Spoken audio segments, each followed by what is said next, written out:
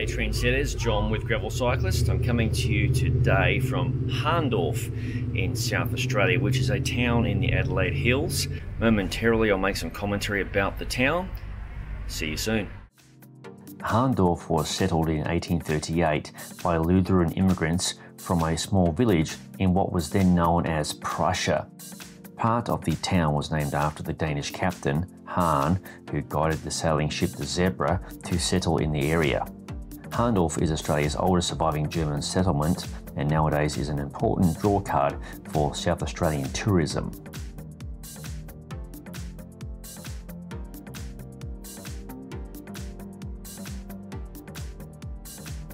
There are plenty of hills in this area and they didn't disappoint when I left town, all of which was straight uphill. But what goes up must go down.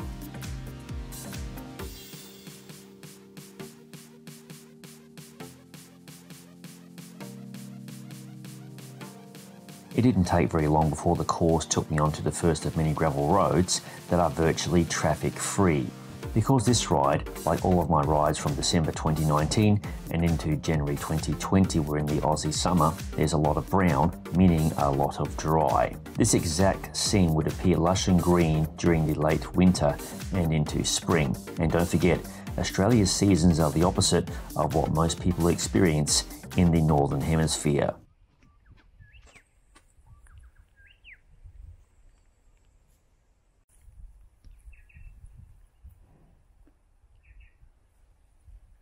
Hello folks, I'm coming to you from somewhere in the Adelaide Hills on a railway line that's not really used too much anymore. I believe, and correct me if I'm wrong, it was a former Metropolitan line some time ago and I think the Steam Ranger Vintage Railway Society might have used this track at some point, uh, not 100% sure, so forgive me if I'm wrong, but regardless, the tunnel behind me is quite neat and this track um, well, it could use some work obviously, and that's where the problem is. It costs a lot of money to repair railway tracks. So let's have a quick gander inside the tunnel, and uh, naturally, I'm going to ride through this thing.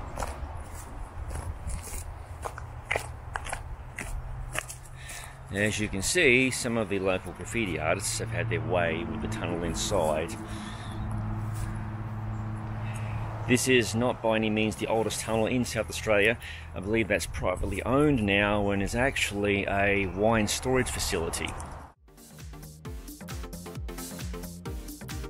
Riding a railway line is tough at the best of times due to the sleepers, or ties as they are known in the United States, and riding the ballast either side of the tracks is a faster proposition.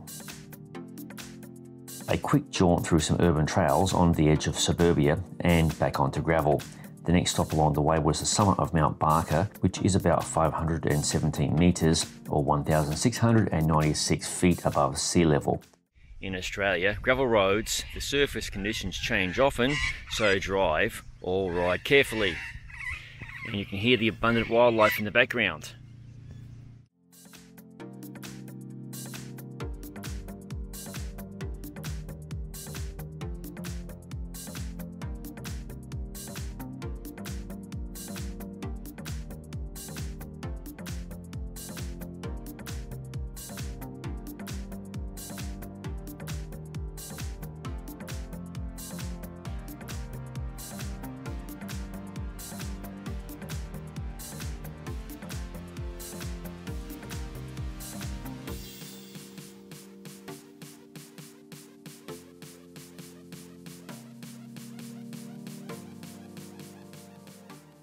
Hello again. I believe I am approaching the summit of Mount Barker.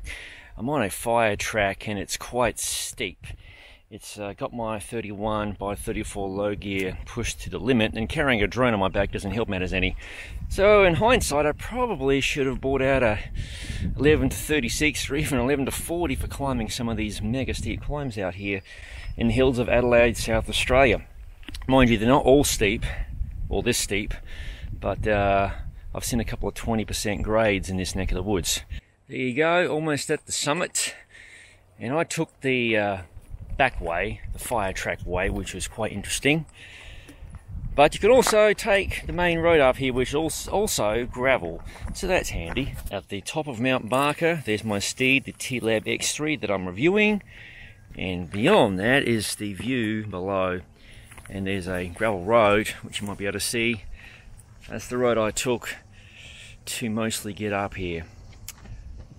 Absolutely stunning views, vineyards, rolling hills, farmland, trees, etc.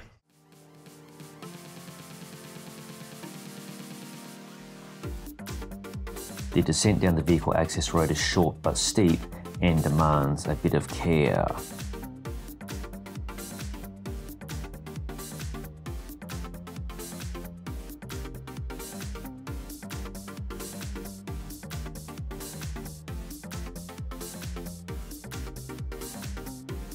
This scene, I'm approaching the small town of Callington and experienced a kangaroo encounter or two along the way.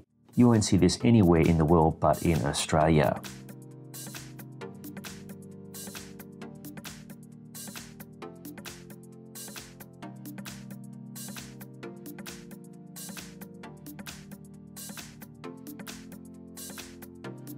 I ride beneath the Southeastern Freeway, which links Adelaide to Melbourne, and over the plains of the surrounding area.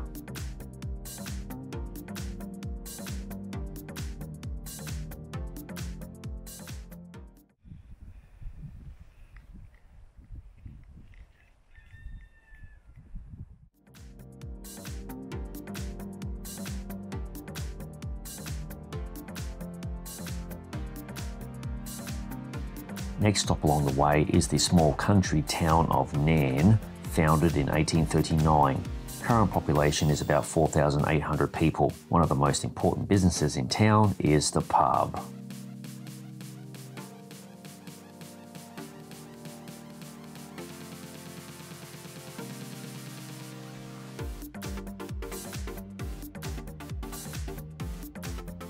At this point in the ride, I'm taking a course towards Hahndorf.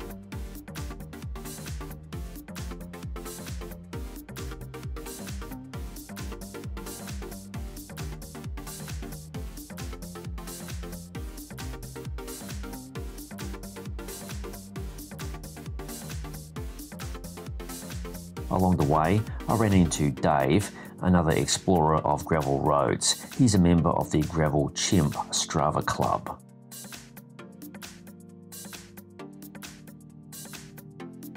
If I didn't mention it enough earlier, there are plenty of steep hills in this area, but this one at least runs parallel to a picturesque vineyard.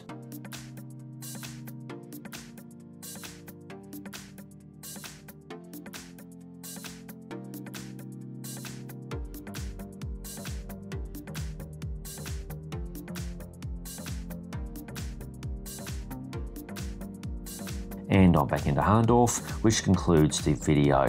Thank you for watching. If you haven't already, please subscribe to the Gravel Cyclist YouTube channel and don't forget to click the bell button to be notified of future videos as they appear on the channel. I'll see you in the next video.